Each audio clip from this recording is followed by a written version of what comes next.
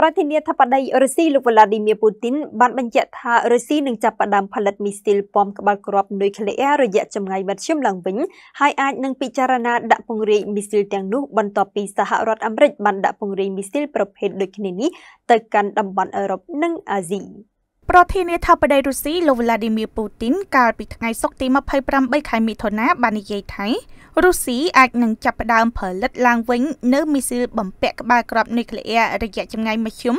និងរយៈចម្ងាយខ្លីហើយអាចនឹងពិចារណាដាក់ពង្រាយមីស៊ីលទាំងនោះបន្ទាប់ពីសហរដ្ឋអាមេរិកបានដាក់ពង្រាយមីស៊ីលប្រភេទដូចគ្នានេះទៅកាន់តំបន់អឺរ៉ុបនិងអាស៊ីនេះបើតាមការចេញផ្សាយដោយទីភ្នាក់ងារសារព័ត៌មាន Reuters ការប្រកាសខាងលើរបស់លោកពូទីនដែលត្រូវបានគេមើលឃើញថាជាការសម្លាប់កិច្ចព្រមព្រៀងនៅសេសសល់ទាំងអស់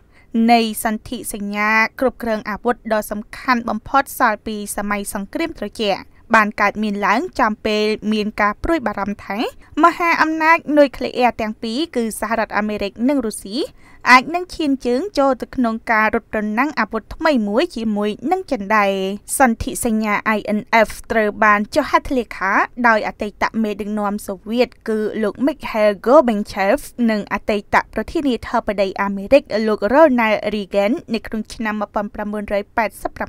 ត្រូវបានបង្កើតពេលវេលាមួយជាលើកដំបូងដែលមហាអំណាចទាំងពីរ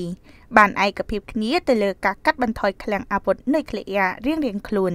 ប៉ុន្តែសហរដ្ឋអាមេរិកនៅក្រោមរដ្ឋបាលដឹកនាំរបស់អតីតប្រធានាធិបតីអាមេរិកលោកដូណាល់ត្រាំបានដកខ្លួនចេញពីសន្ធិសញ្ញា INF កាលពីឆ្នាំ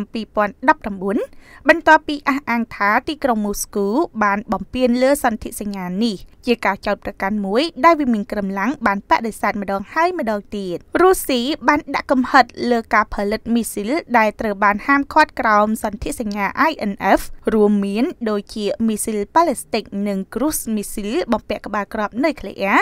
បាញ់បានចម្ងាយពី500គីឡូម៉ែត្រដល់5500គីឡូម៉ែត្របើតាមលោកពូទីនរុស្ស៊ីបានសន្យាថានឹងមិនដាក់ពង្រាយមីស៊ីលប្រភេទនេះនោះទេប៉ុន្តែលោកថាសហរដ្ឋអាមេរិកទៅវិញទេ ដែលបានចាប់ផ្ដើមការផលិតមីស៊ីលប្រភេទនេះឡើងវិញ ហើយថែមទាំងបានដាក់ពង្រាយទៅកាន់ដាណឺម៉ាកនិងហ្វីលីពីនសម្រាប់ការធ្វើសមយុទ្ធយោធាទៀតផង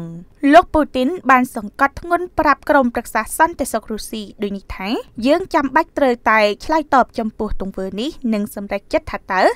យើងនឹងត្រូវធ្វើអ្វីសម្រាប់ទិសដៅបន្ទាប់ហើយមើលទៅយើងចាំបាច់ត្រូវតែចាប់ផ្ដើមផលិតប្រព័ន្ធអាវុធប្រភេទនេះ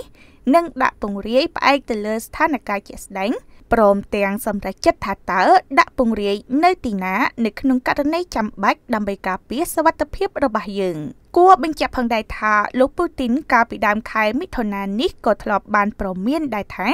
រុស្ស៊ីអាចនឹងដាក់ពង្រាយមីស៊ីលដែលអាចបាញ់ដល់សហរដ្ឋអាមេរិក និងបណ្ដាប្រទេសអឺរ៉ុបមួយចំនួនប្រសិនបើពួកគេអនុញ្ញាតឲ្យអ៊ុយក្រែនប្រើប្រាស់អាវុធផ្ដាល់ដោយលោកខាងលិចវាយប្រហារលើគោលដៅក្នុងទឹកដីរុស្ស៊ីប៉ុន្តែលោកពូទីនមិនបានបញ្ជាក់ថាតើ